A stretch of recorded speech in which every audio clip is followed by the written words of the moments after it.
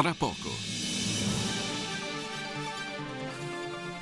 Sul canale 17 di Fano TV, l'informazione locale.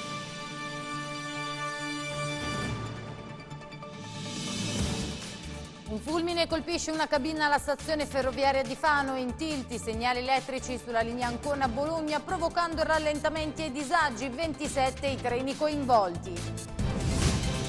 Il comune di Fano presenta il progetto per l'area dell'ex zuccherificio, sarà destinata allo sport e al tempo libero e verrà chiusa al traffico.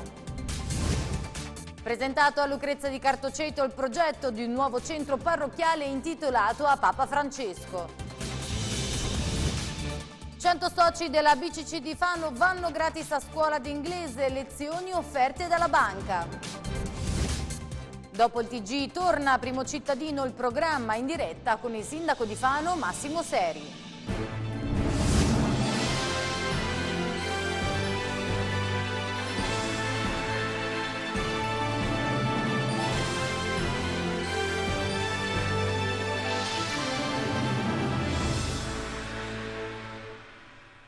Buonasera e benvenuti a questa edizione di Occhio alla Notizia. Apriamo il nostro telegiornale con il temporale che si è abbattuto su tutta la regione. A Fano un fulmine è caduto alla stazione ferroviaria provocando disagi e ritardi dei treni.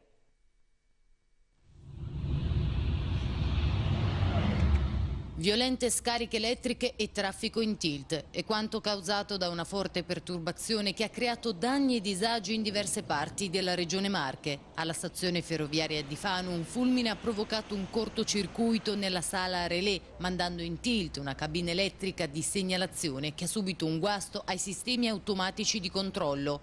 Sul posto è intervenuta la Polfer di Pesaro per ripristinare la situazione, ma l'accaduto ha provocato un rallentamento del traffico ferroviario dalle alle 7.30 fino alle ore 13 sulla linea adriatica Ancona-Bologna. Conseguenze per 27 treni, 5 frecce, 3 intercity e 13 regionali che hanno registrato ritardi fino a 90 minuti. 5 convogli locali hanno seguito un percorso limitato e uno è stato cancellato. Disagi per il maltempo sono stati registrati anche nel Fabrianese e in Vallesina, zone colpite da un violento temporale dove si sono allagati i garage e i sottopassi. Sono state segnalate inoltre interruzioni interruzioni dell'energia elettrica.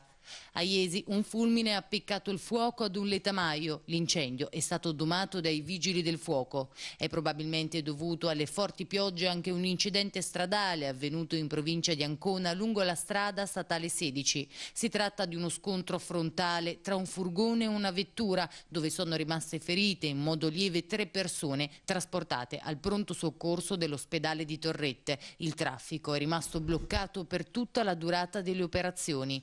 Anche nella città città di Fano, traffico rallentato intorno alle 8 sulla strada adriatica da Fosso Seiore fino al centro cittadino dove si sono formate lunghe code e come accade ogni qualvolta piove si sono allagati i sottopassi del Lido e di Torrette. Quello che vedete ora invece è un video girato stamattina da un nostro reporter di strada, immagini che riguardano allagamenti sulla strada per camminate. Avanti l'indagato che è stato individuato torniamo a parlare della variante dell'ex zuccherificio perché oggi il Comune di Fano ha presentato la sua proposta per valorizzare l'intera area. Guardate. Destinare l'area dell'ex zuccherificio a valenze ambientali, turistiche, sportive e ricreative. È questo l'obiettivo dell'amministrazione comunale di Fano che ha illustrato il progetto della nuova pianificazione. Si propone una superficie commerciale no food di 2500 metri quadrati con un centro congressi, laboratori, palestre, fitness e centri per la salute. Prevista la possibilità di realizzare una piscina comunale di 25 metri per 16 e una per bambini e e per la riabilitazione. Si potrebbe progettare inoltre un palaghiaccio come nella città di Iesi. Si pensa poi alla ricostruzione delle due torri che alte 40 metri con un diametro di 20 costituivano un profilo paesaggistico caratteristico di Fano. Potrebbero essere destinate ad un uso alberghiero o ristorativo, per spazi espositivi e museali o per un ascensore con terrazza panoramica. Il percorso partecipativo che si avvierà ora potrà modificare, migliorare e perfezionare tutte queste previsioni. Nell'ambito del percorso che definirà la previsione siamo aperti ai contributi, ai contributi dei soggetti, eh, dei cittadini qualsiasi, ma anche dei soggetti qualificati, specifici, di settori specifici che possono, potranno portare suggerimenti e indicazioni di miglioramento della previsione. Quella dell'ex zuccherificio è un'area strategica, secondo il tecnico dell'ufficio piano regolatore Pia Miccoli, che ha illustrato in conferenza alcuni punti fermi su cui si basa il progetto. L'area commerciale sì, perché comunque un commercio diciamo, di vicinato, di supporto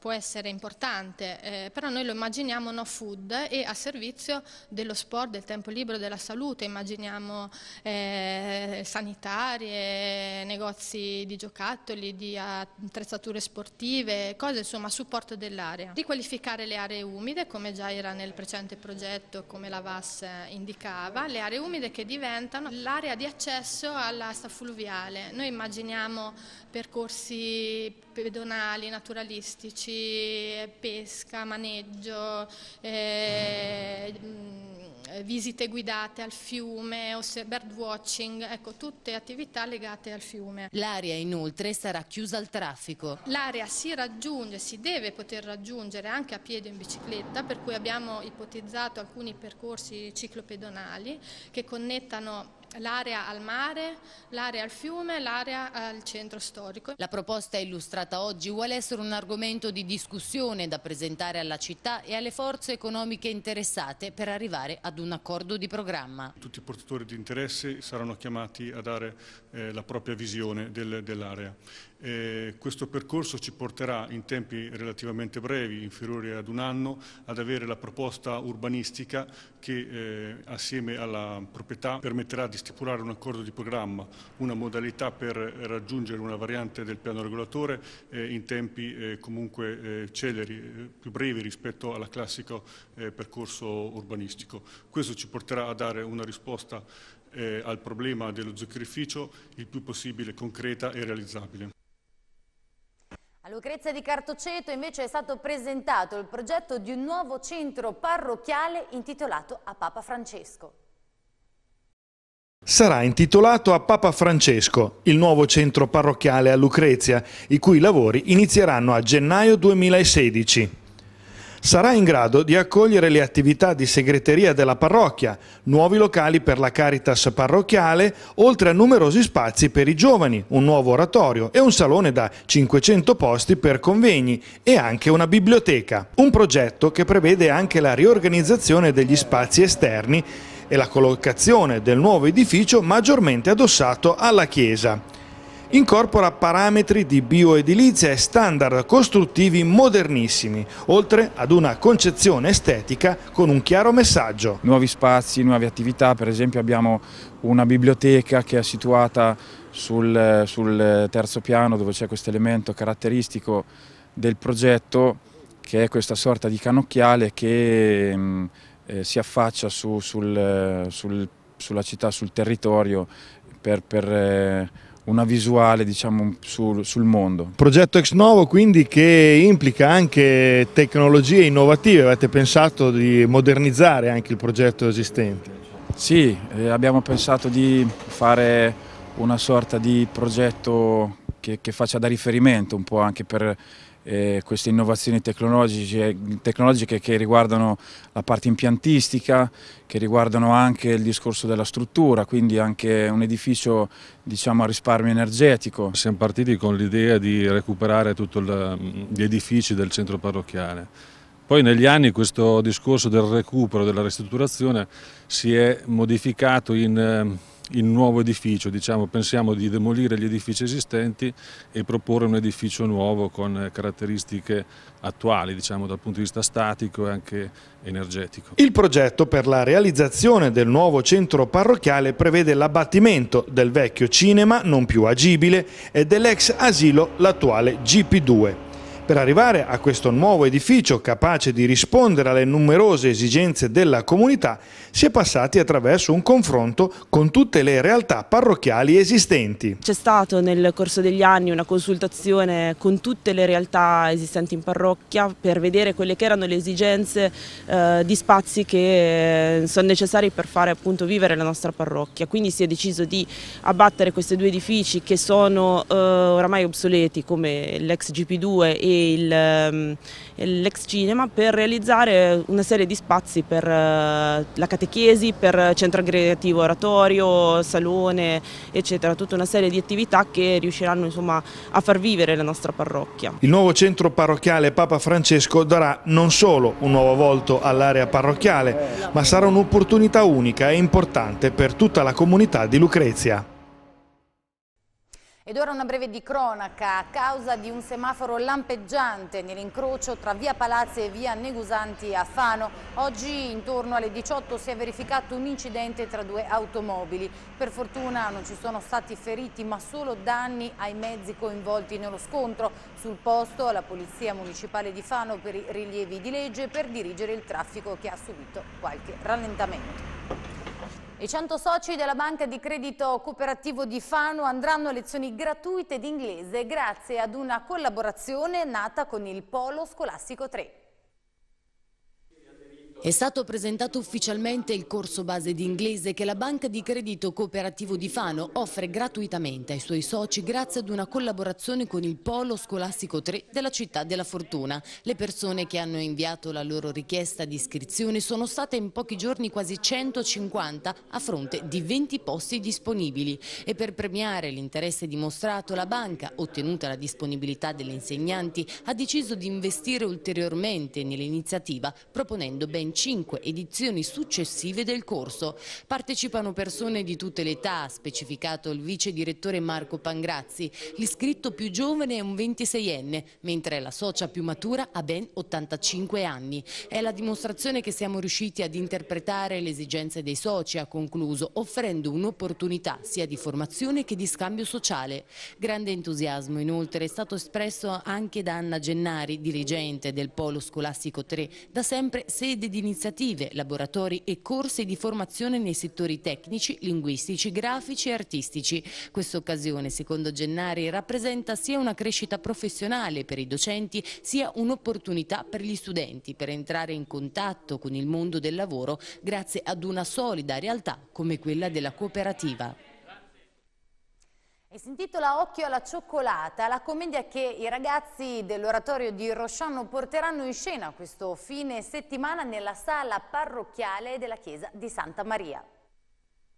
La cioccolata piace a 9 persone su 10 e probabilmente la decima dice le bugie, ma per farne uno spunto per una commedia ci vuole tanta fantasia e si sa i giovani di fantasia ne hanno a volontà, come i ragazzi di Rosciano Oratorio che hanno allestito una commedia in due atti con l'esperta regia di Vittoria Lettieri. La storia è praticamente di Tommaso che è uno scrittore eh, che però ha un po' di crisi di ispirazione, allora viene aiutato in questo dalla eh, da sua cosa Wolf, che anche lei è un'appassionata di gialli, e, e scrivono questo romanzo. I protagonisti di questo romanzo sono un detective e la sua segretaria, che sono proprio impegnati in un intreccio di ricatti, vicende un po' eh, così, un po' surreali, diciamo, e divertenti.